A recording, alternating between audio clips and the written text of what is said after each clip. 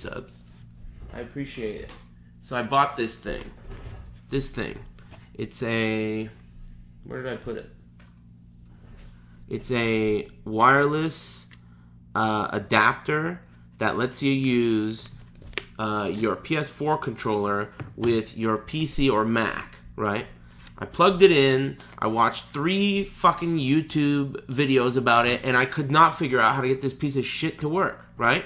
So I unplugged it, right? I unplugged it. And then I looked into uh, Steam has this new beta support for uh, for uh, whatever the hell it is, right? See, this guy right here says DS4Windows. He thinks he knows what he's talking about. Buckle your seatbelt, motherfucker. So Steam now natively has support for the DualShock 4 controller, right? So that's if you plug it in with the cable. What you do is you go to big picture mode with Steam, you go to controllers, and it will detect it, right? Now, what I did is I grabbed a USB Bluetooth dongle that I had sitting around, right? I plugged that shit into the fucking computer and I went to Bluetooth devices, activated it. I paired this with it. The way you pair a controller is first it has to be completely unpaired with everything else.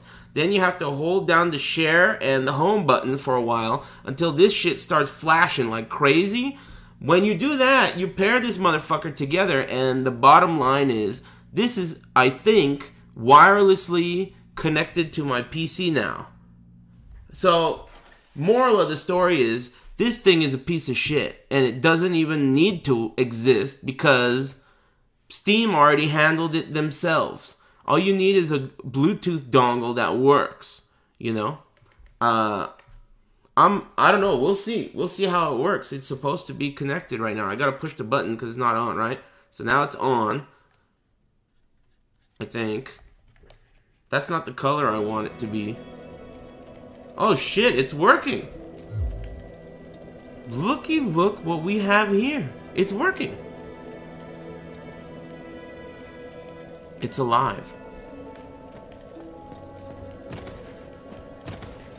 Can you believe that? Wirelessly connected with my PS4 controller to my computer without any kind of DS for Windows, none of it.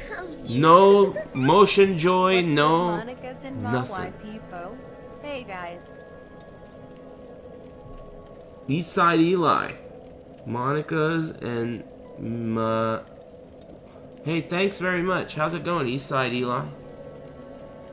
Thanks. I don't know. I'm pretty impressed. This is something that I've wanted for a while, and it kind of seemed hard to obtain.